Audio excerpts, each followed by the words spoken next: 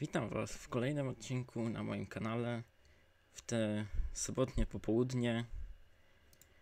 I cóż, tego chyba nie spodziewał się nikt. I ja na pewno się tego nie spodziewałem, ale fani FNAFa w tym tygodniu są bardzo rozpieszczani. Więc y, w środę, tak, z wtorku na, w nocy z wtorku na środę Jason Bloom, ogólnie Blumhouse y, i tam Universal Picture i tak dalej, y, udostępniło nam pierwsze plakaty oraz pierwszy y, zwiastun filmu z FNAFa. Five Nights at Freddy's. I y, dzisiejszej nocy, w nocy z piątku na sobotę, Silul Studios postanowiło, że nie zostanie w tyle. Więc y, dokładnie 16 godzin temu, czyli jakoś koło północy, dodali ten oto post. Hej ludzisko, dopiero zacząłem tą pracę, ale każdy y, ciągle y, komentuje, pyta się coś o, o jakimś ruin. Znalazłem to na moim twardym dysku. To o to chodzi? I dostaliśmy link. Dodatkowo, jeżeli wejdziemy na stronę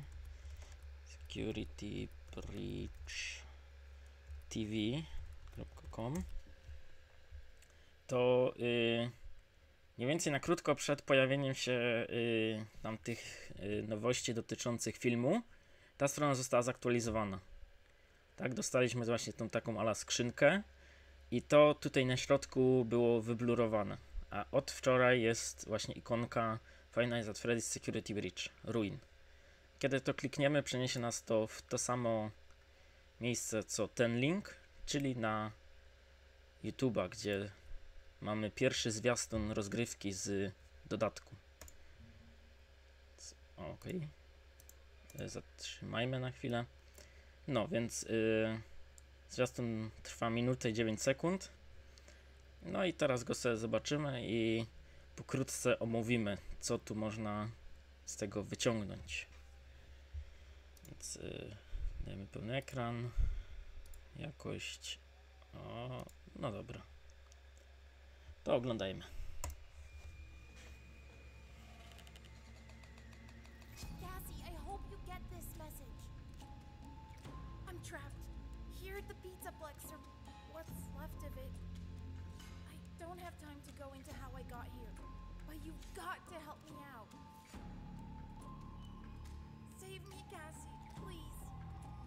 so dark down here.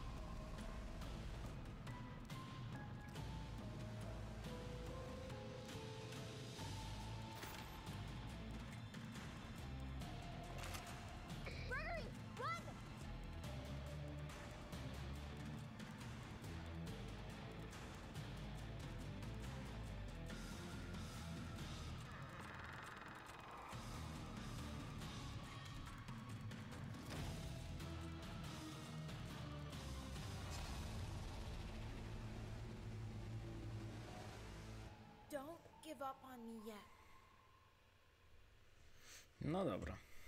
Tu mamy datę premiery, czyli lipiec tego roku, czyli za jakoś półtorej miesiąca, gdzie można zagrać w ten dodatek. Więc dobra, więc y, przejdźmy po kolei. Y, idź. Oj, oj, oj. Nie tak chciałem, ale dobra. No nic. Nie. Ja próbuję jakoś to ogarnąć. Ok. Dobra, więc lecimy po kolei. Więc mamy, y, ty mamy pierwszy wgląd na, y, to jest to wejście do Pizzaplexu, z którego wychodziliśmy i widzimy na pewno po pierwsze, że jest dzień, więc możliwe, że dodatek będzie rozgrywał się w trakcie dnia. Yy, Po drugie, widzimy, że na budynku jest pełno. Nie wiem, wydaje mi się, że są to jakieś wycinki gazet. I tu mamy naszą bohaterkę, która nazywa się Cassie. co jest dosyć ciekawym imieniem. Przepraszam. I tu ją właśnie widzimy, jak y, przez dziurę w tym szkle prawdopodobnie wchodzi ona do pizzaplexu. Dodatkowo widzimy tutaj jakieś rusztowania albo coś takiego, takie barierki ala. Oj, y, tutaj jakieś graffiti. No i widzimy właśnie, że wskakują na to. Tutaj mamy y, rzut tak jakby na drugą stronę tego. Czyli tak jakbyśmy tu szli właśnie dalej i tam idąc dalej byśmy weszli do tej, doszli do windy, która by nas zaprowadziła do, y, na główną scenę między innymi. A Więc ponownie widzimy tu jakieś, y, tu coś stoi, tu kolejne graffiti. No ogólnie budynek jest opuszczony, to widać. I tak, coś widać po, później, po późniejszych y, y, grafikach i w ogóle rzutach w tym zwiastunie. Budynek jest zniszczony, bardzo zniszczony, co może sugerować, że akcja będzie się działa po e, po zakończeniu, po true endingu, po walce z Aftonem. No i w tle również słyszymy Gregorego, który mówi, no tutaj mówi właśnie że do Cassie, że ma nadzieję, że otrzyma tą wiadomość. Czyli on, y, tak, jeżeli byśmy szli właśnie w to, że to jest tak jakby kontynuacja po endingu z Aftonem, to najprawdopodobniej nie udało mu się wydostać tam z dołu, no i utknął tam. I w jakiś sposób wysłał on wiadomość do Cassie, która jest, nie wiem, jego przyjaciółką, jest jego rodziną, nie wiem, kimś tam jest i poprosił ją właśnie o pomoc, żeby go stamtąd, stamtąd wyciągnęła. Szczególnie, że później też jest y, tekst, gdzie Gregory mówi, że tam na dole jest bardzo ciemno. Więc y, no, to by wszystko pasowało. Y, Tutaj mamy kolejny rzut na jakąś część tego pizzaplexu, aczkolwiek nie wiem, która to jest część. I tam w tle coś się huśta. Coś tam się huśta. Tylko nie, też nie wiem co. I'm. No, tu mamy, że właśnie jest uwięziony. Tu w pizzaplexie lub tym, co z niego zostało. No, bo widzimy, że jest cały zniszczony. E, wróćmy się na moment. Mamy to. Tu mamy też jakieś kolejne miejsca, ale nie, nie jestem pewien. Nie wiem, czy to nie będzie y, te biuro ochroniarza y, przy tym, przy price counter. Możliwe, że to jest to. To jest ten y, tunel początkowy, przez który szliśmy na początku gry we Fredim, y, gdzie tam też potem y, zbaczaliśmy na bok do tego Medbaya. Tam na dole właśnie co szliśmy. Tutaj mamy Monty Golf. No ogólnie widać, że cały budynek jest zniszczon- zniszczony, co też sugeruje, że tak jakby te zniszczenia, które się działy tam na dole, miały też wpływ na to, co było u góry. Co jest trochę dziwne, ale okej. Mogłoby to też być na przykład kontynuacja zakończenia z y, ucieczką przez y, właśnie y, te wyjście pożarowe, którego jeszcze nie blokowaliśmy na streamie. Ale nie wiem, jakoś wydaje mi się, że nie bez powodu zakończenie z Aftonem jest nazywane jako true ending.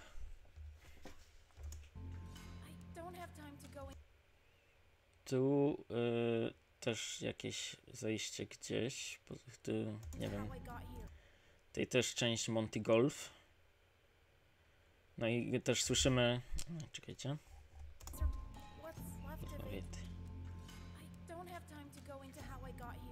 No właśnie, y, Gregory mówi, że nie ma czasu, żeby wyjaśnić y, to, jak się w ogóle tutaj znalazł, tak? Co teoretycznie można by uznać, że. Y, znaczy, ja powiem szczerze, na początku odebrałem to, że po prostu, że on tak jakby wydostał się i potem ten, ale potem właśnie to połączyłem, że y, ogólnie nie chcę mówić, jak się tutaj znalazł nawet w Security Breachu jej. Aczkolwiek myślę, że i tak się tego dowiemy.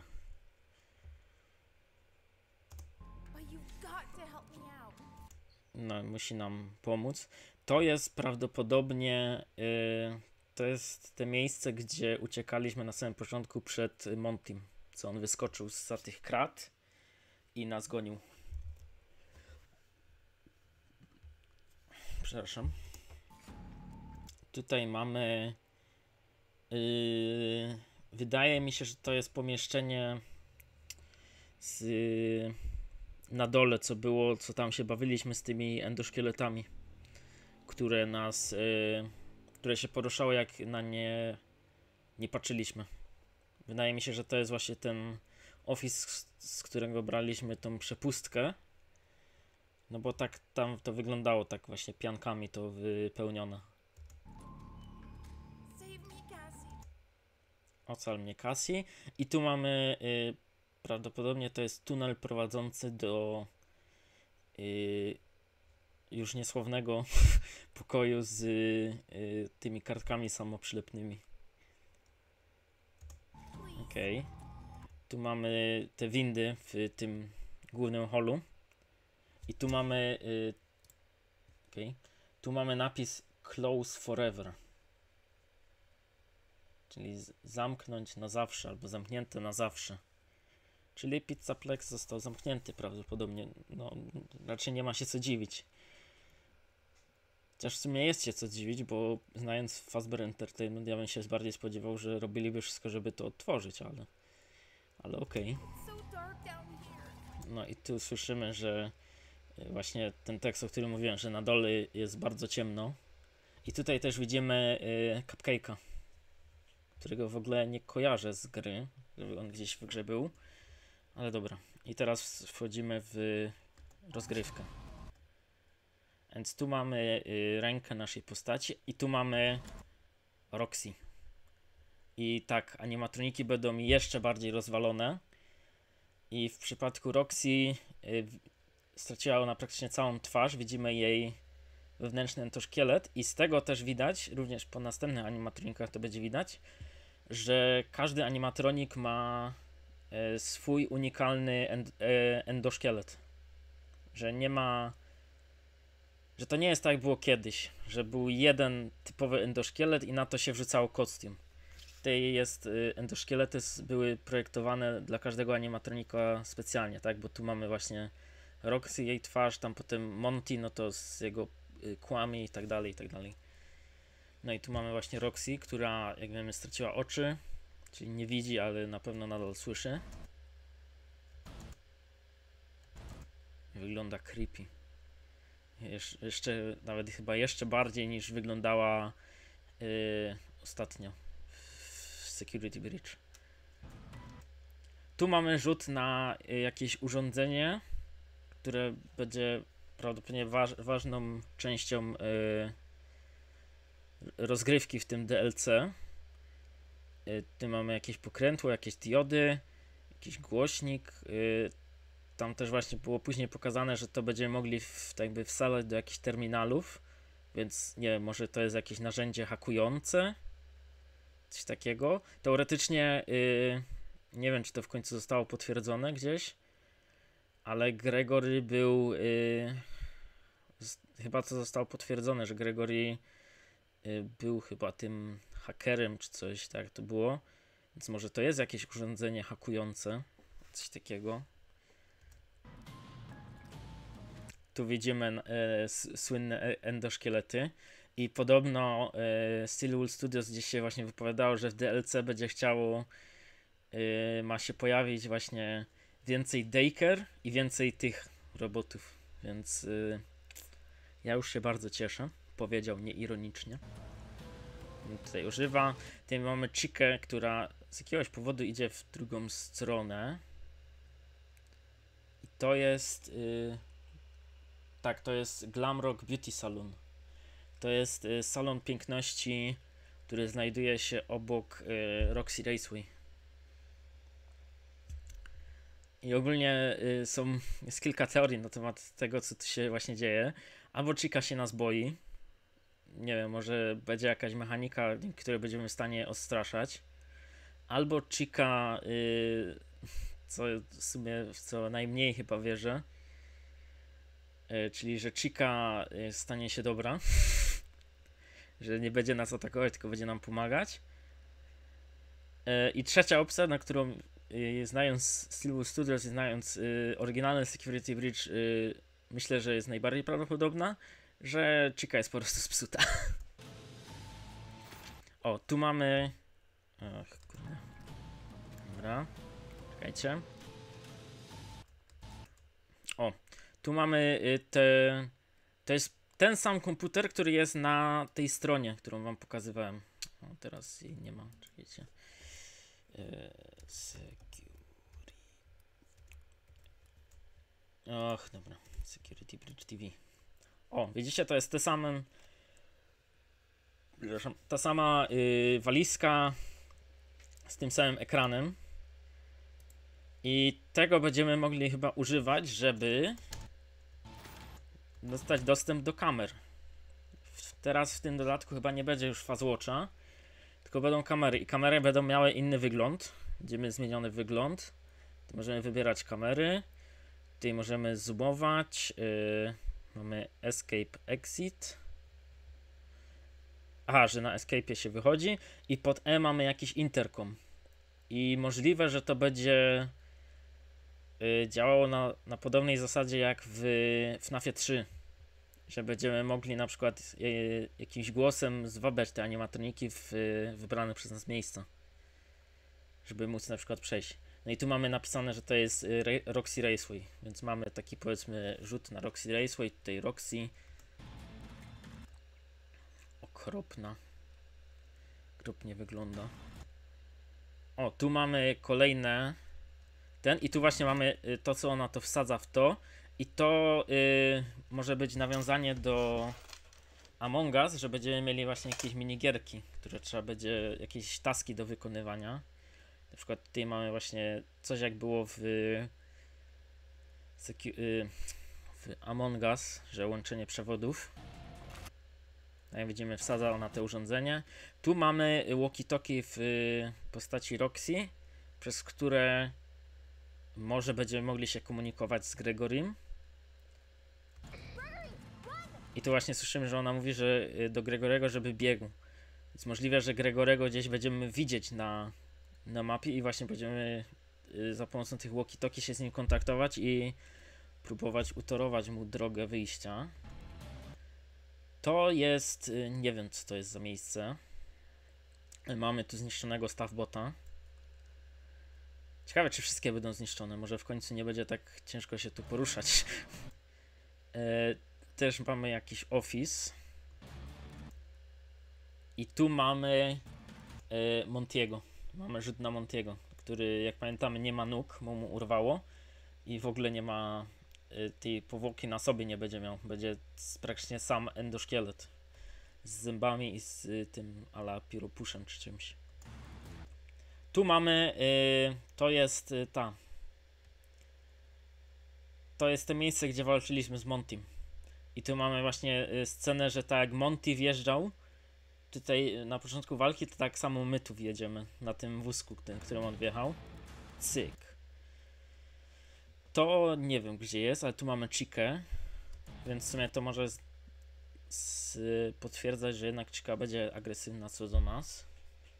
No ale to jeszcze zobaczymy. O, tu mamy yy, Montiego.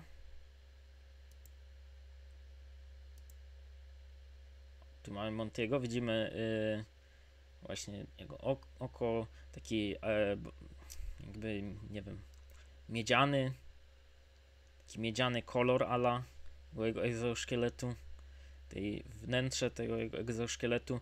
I ogólnie tu nas atakuje, bo najprawdopodobniej wydaje mi się, że to jest y, nowy jumpscare.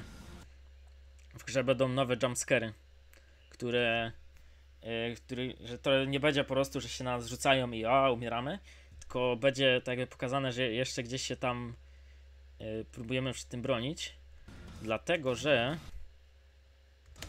o, y, przez sekundę no teraz nie. O, widzicie, jest yy, właśnie statyczny ekran. A statyczny ekran zawsze się pojawiał właśnie kiedy y, był jumpscare zabijający nas, więc, więc to może być to. Właśnie, że będą y, nowe animacje y, przegranej. Że będziemy się właśnie próbować bronić. I tu również y, na poprzednich w sumie y, rzutach też to widać. Na przykład, y, no nie tu, a czekajcie.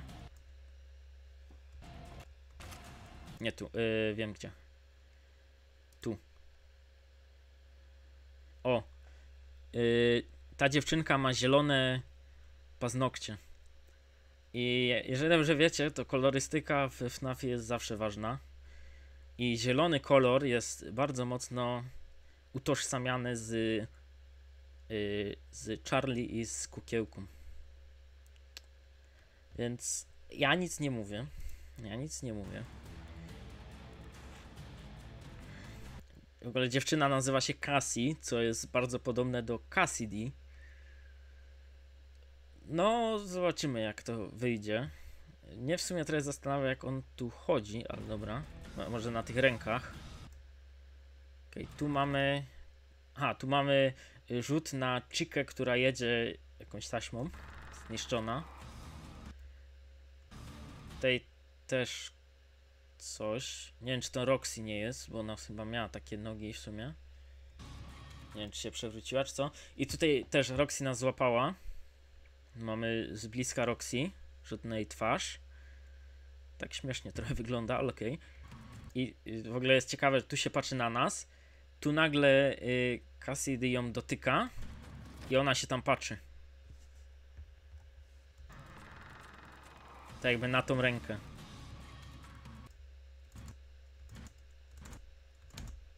O.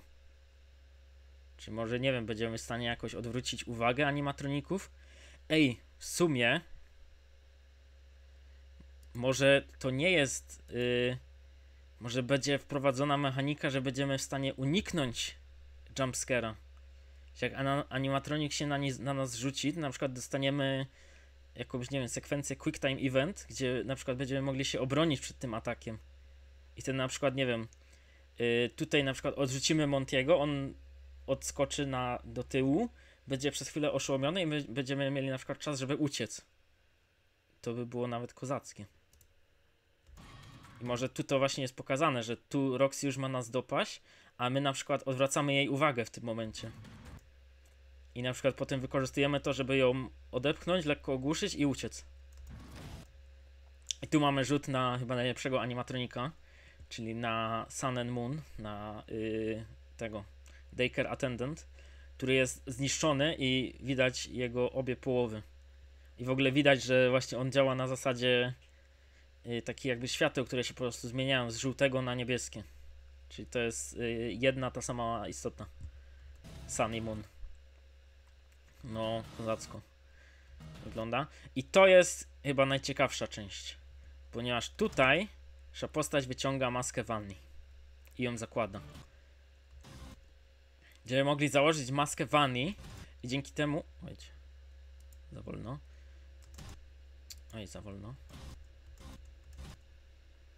Oj, dobra. Zmniejszymy trochę prędkość. O, mniej więcej. Będziemy widzieć y, rzeczy, których normalnie się nie da zobaczyć.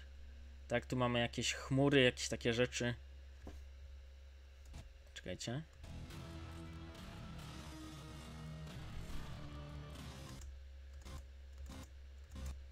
No dobra. No, tu i tu mamy jakiegoś y, takiego jakby, nie wiem, zgliczowanego królika, co to na przykład może być glitch trap. I na przykład też go będziemy widzieć tylko w tej masce albo coś.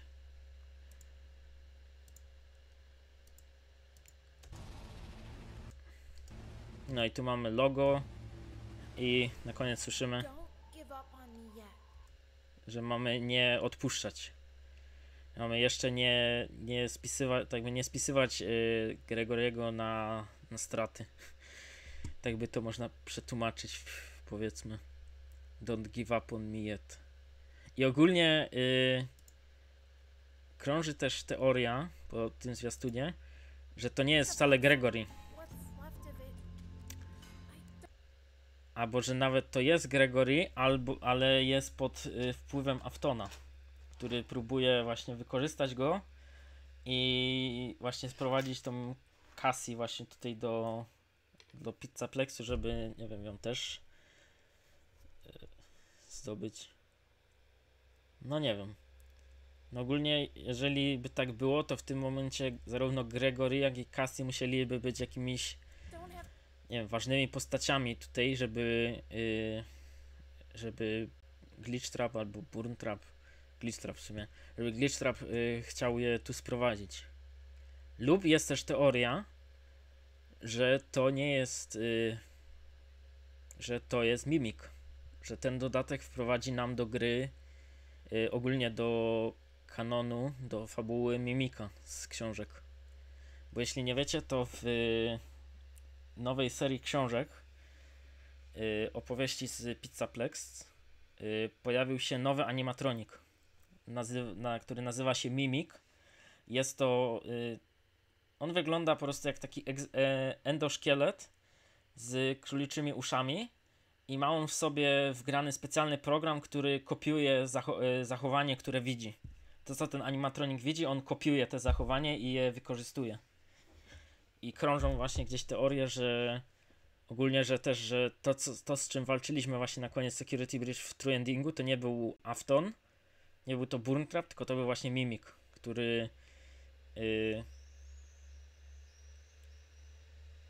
no, y, tak jakby znalazł wszystkie informacje o Aftonie, o jego morderstwach ten i postanowił właśnie go skopiować. I że w ogóle Glitchtrap to też jest Mimik. Że tak jakby ten program właśnie yy, został wykorzystany przy tworzeniu tej gry VR i właśnie przybrał postać yy, yy, tego Spring Boniego. Żeby, yy, że że został podłączony właśnie do tych danych z z o tych wszystkich morderstwach się tam wszystkim dowiedział i właśnie postanowił yy, w ten sposób wykorzystywać, bo on, y, on kopiuje właśnie te zachowania i tam w książkach było, że on też lubi y, przebierać się. Tam była taka sekwencja, gdzie on właśnie y, zabijał ludzi i każdego zabijał w innym kostiumie. No więc no. No, więc y, lipiec 2.23, półtorej miesiąca i ja już się nie mogę doczekać. Na pewno y, na moim kanale zobaczycie s- serię z tego albo transmisję z tego. Może poprowadzę tak teraz właśnie w formie transmisji. Zobaczymy jeszcze. No, więc to jest dziki tydzień. Najpierw film, teraz dodatek. Co jeszcze wyskoczy? Ja Wam dziękuję za oglądanie. Mam nadzieję, że film Wam się podobał. Yy, Zapraszam Was również do obejrzenia mojej analizy zwiastunu z y, filmu z FNAFa i widzimy się w następnych materiałach. Na razie.